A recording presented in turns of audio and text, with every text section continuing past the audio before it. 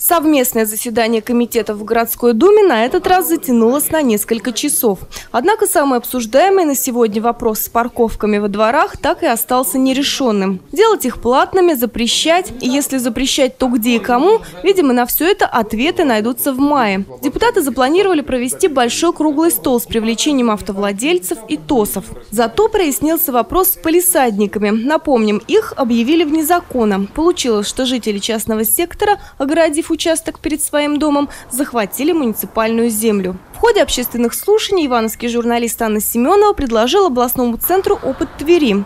Депутаты поддержали. Ограждение разрешено. Допустим забор высотой не больше одного метра и проницаемый для взгляда. То есть никаких глухих заборов, э, ограничивающих полисадники, не должно быть. Э, Безусловно, это должно быть в заявительном порядке, без э, каких-то межеваний и всего прочего.